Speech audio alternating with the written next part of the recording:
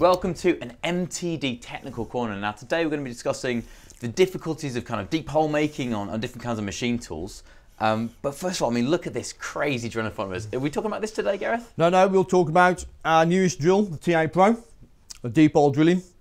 Okay, and what actually constitutes a deep hole? Let's start with the basics. Yeah, so deep hole we class as 8 times D or deeper.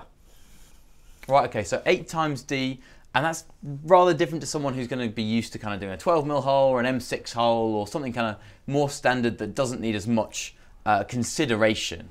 Yeah. So when we come to deep hole drilling, coolant pressure is a factor as long as coolant flow. Small diameter drills require higher pressure, less flow, rate. Larger diameter drills, you need more flow rate, less pressure. The larger the chip flutes, you're making a lot of chips faster because of the diameter. You need a lot of flow to push those through the flutes out of the hole.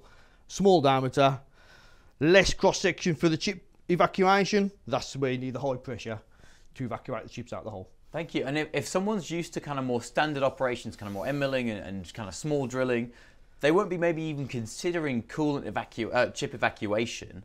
Um, so what are the requirements? What makes it hard to make a deep hole? What would happen if you didn't have the right chip evacuation? If, say, deep hole drilling, minimum 20 bar, I'd say. If you haven't got that kind of coolant pressure, your chips will cut possibly 50% of the hole depth. Then you'll see the chips block with flutes. You'll see your load meter on the machine start spiking. You'll hear some crackly noises on the machine. That's going to tell you that drill's struggling to make the hole. And the chips are all packing up inside the flutes. Chips back in the flutes. Chips have got nowhere else to go. That leads to insert failure. Insert failure can wipe out the whole drill investment you've got. And So- we're talking real catastrophic failure. catastrophic failure. If you drill a hole and you've come to us for recommended speeds and feeds, and the drill just breaks catastrophically, then there's something deep seated in your application details that we need to have a look at. So catastrophic failure, start from square one. Yep. Have a look at the, the machine itself, rigidity, and also coolant pressures, coolant Abs- flow rate. So you've mentioned machine rigidity there. Are there different requirements for your machine tool? If- I mean, your machine tool is the start of every operation you need to do. Yeah, TA Pro is aimed at carbide insert usage. So they need a nice rigid machine, rigid part. Rigidity comes from CNC machines, whether they be horizontal or vertical. So you can use a vertical machine tool with this kind of deep hole application as well.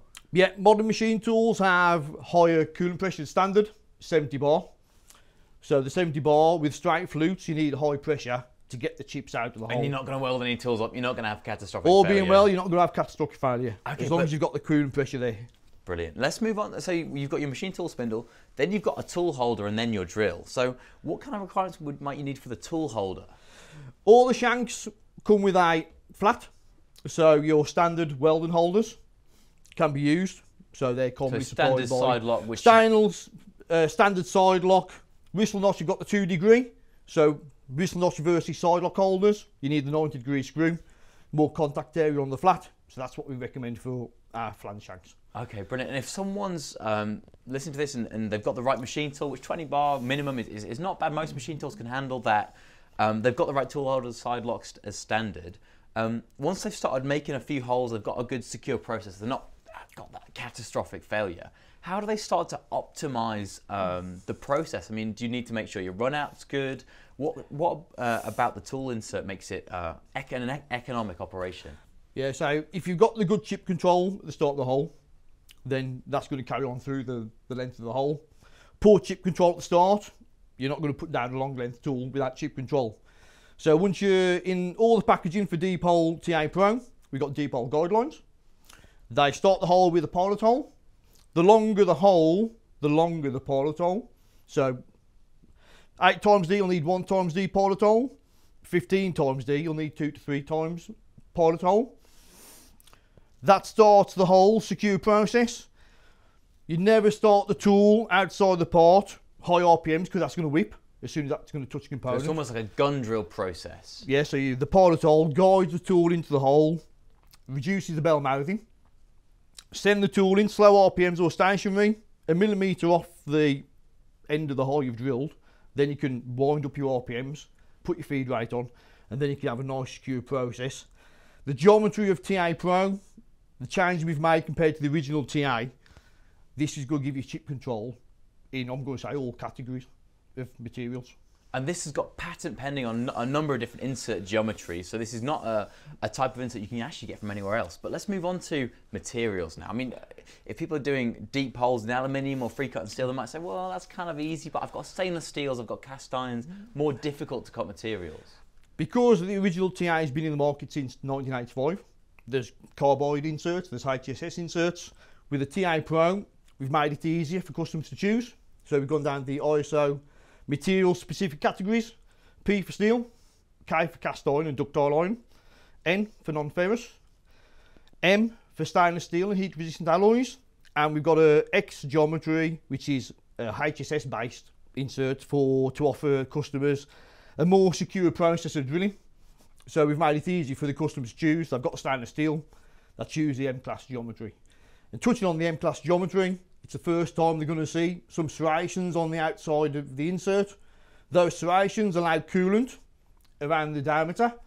Coolant around the diameter helps heat dispersion. All good for good chip evacuation. Too much heat in the drilling, your chip's not going to break, it's going to be malleable, so it's going to stay uh, heated, and that's where your poor chip comes from.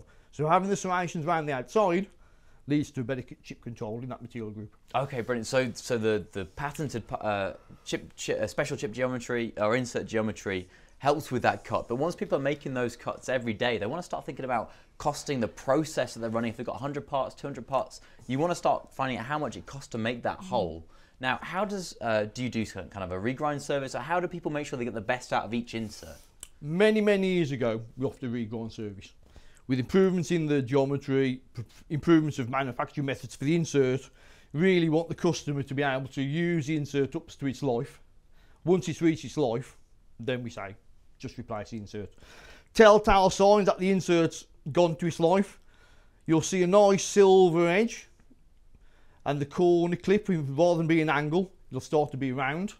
That's a sign that the insert's done its life. It's time to change the insert over.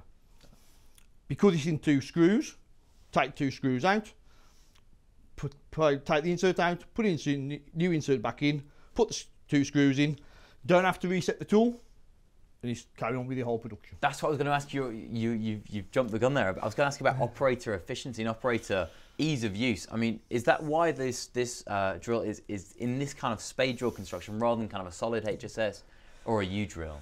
Yeah, one of the the main USP of our TA system is you don't have to reset the tool length.